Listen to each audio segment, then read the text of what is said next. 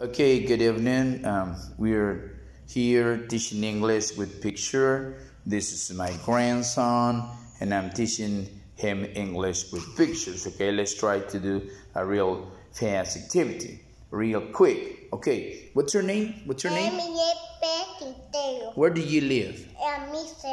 Okay, now he, the boy climbs. The boy climbs. Yes, the boy climbs.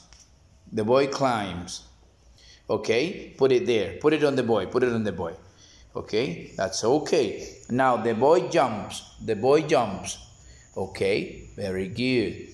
Now, now the boy stand up. Stand up. The boy stands up. Check it out. Put it there. Put it on the boy.